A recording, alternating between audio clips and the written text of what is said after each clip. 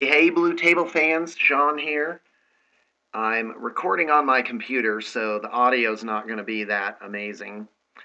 I also have a little bit of a frog in my throat this morning, so uh, it's going to be it's going to be pretty. I don't know. Anyway, let's uh, let's talk about this new battle suit that uh, Forge World has just put out for the Tau, and I'm going to give you kind of a preliminary overview Oh my gosh, this thing is amazing. Wow. All right, so first off, let's take a look at the model. Like the R'Varna battlesuit, it uh, you know it's has it has resin components that fit over a regular uh, Riptide. So this is like a big flying oval base down here. So this guy's this guy's pretty huge. In fact, they, they've got a size comparison here to a regular battlesuit. There it is. So uh, now the R'Varna almost looks like it's hunched over because it has that big hood on it. But this one, this one definitely is upright. Uh, let's look at the back. It has this huge, like, jetpack array. I mean, it's almost, it's almost over the top with like wings that come out the side. So come on. It's, uh, it's pretty awesome. Let's take a look at it from this angle here. There you go. So uh, yeah, pretty uh, pretty elegant jetpack there. Now let's take a look at the rules. This was like I just don't even know where to start with this. Um, all right, let's go ahead and go to the top. Now something I thought that was funny is uh, it was it says rushed into deployment after the success of the R'Varna battlesuit. Uh, so yeah, literally from the sales success of the R'Varna battlesuit, this was rushed into literal production out at Forge World. So I don't have the Tau book with me, but it looks to me to look like the standard Riptide stat line. And quite frankly, I'd put this up against any of the Tyranid monstrous creatures. Uh, because I mean, good gracious, it just it and it has a two plus save.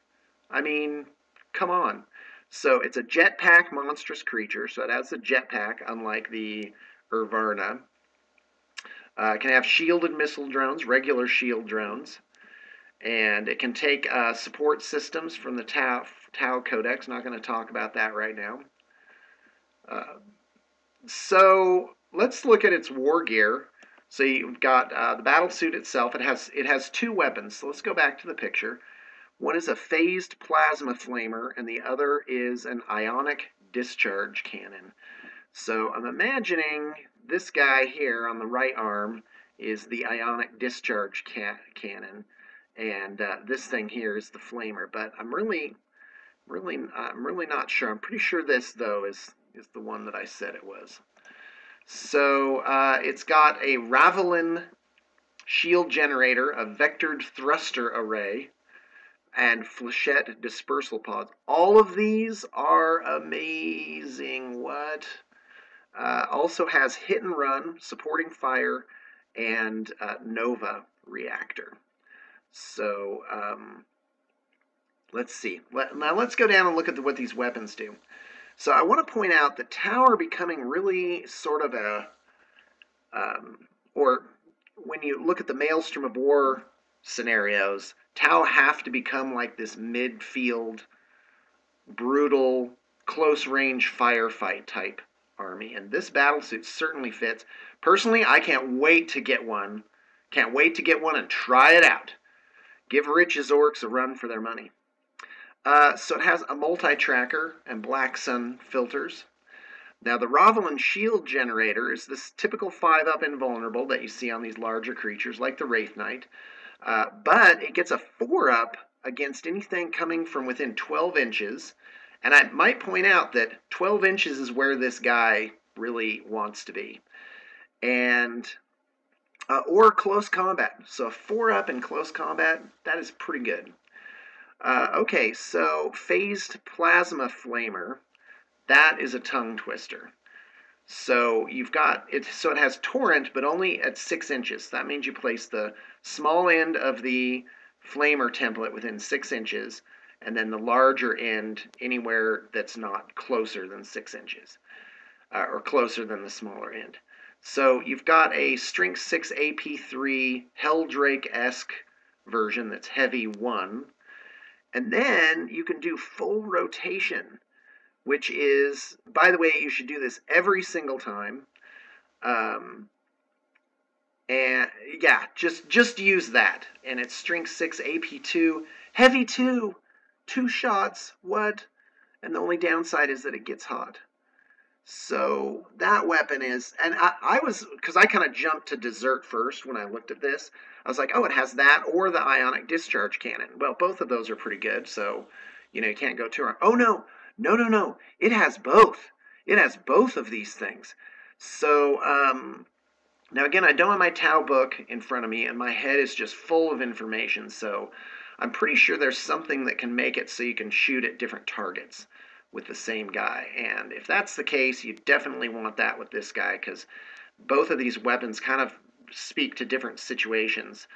Uh, quite frank, like uh, against um, uh, orcs, because I always imagine myself uh, trying to beat the orcs. Um, this uh, the plasma flamer is ridiculous because it gets rid of the cover save, and orcs are toughness four. Jeez. But this is like two up and they're just dead. Two up and goodbye. Even the mega knobs. Now think about that. If you dropped both of them, uh, both of these uh, full rotation torrents on a unit or anything on paladins, you could just do two wounds. You just need you just need a two up. I mean, it's it's amazing. It's just so good. Two of these would just be unfair. So, ionic discharge cannon, this is basically a 12 inch range battle cannon. Oh, did I mention it has its heavy 3 blind and haywire burst? I mean, so haywire burst is for each successful hit this weapon inflicts on a vehicle, roll a single haywire hit as well as resolving the attack from the weapon's profile. So you can easily you could easily peel off full, you know, I mean, you could you could glance Land Raider in a series of shots. What's the uh, ballistic skill? Probably three. No, four. Oh my gosh, seriously? And oh no, wait, wait, wait. I'm sorry. Oh, I'm so wrong with this. Okay. So I saw the strength 3 AP3 and I'm like, oh, it's like a battle cannon. No, no, no. This does not have this does not have uh, a template for it. So but it is heavy 3 blind haywire burst. Amazing. Flechette dispersal pods, uh, long story short, when it arrives in uh, on the field, it can uh, be a deep strike, or uh, it's got some special rules. So anyway, it shows up and it can shoot the flechette dispersal pod at a unit within six inches. Assault D6. Not that much, but it's nice. Now, now, here it is, the vector thrust array. See, now you've got some movement shenanigans going in here. Um, so at the beginning of any controller's movement phase, the battlesuit may choose to move as though it was a swooping monstrous creature for that phase, as this represents a long bounding leap rather than true flight. Does not gain the vector strike special rule. And, and but it may not be used in two consecutive turns. So, wow that is that is amazing. Um, so now let's look at the um, at the Nova reactor.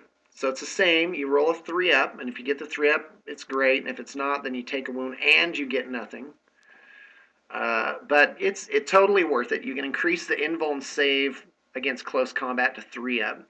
So this speaks to the fact that this this critter is going to have to get so close de- it's def to use any of its weapons, it's going to have to be within charge range of the enemy. So, um, uh, but you know, with toughness six and a two up save, you're you're looking pretty good. But you got to be careful what it is that you're getting next to, because like a unit of mega knobs or a unit of paladins or uh, any of those heavy hitters could could really uh, hurt this guy.